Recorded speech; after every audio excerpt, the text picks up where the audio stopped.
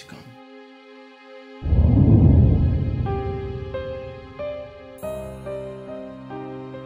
Did you hear that she has broken the king's heart? Who is that?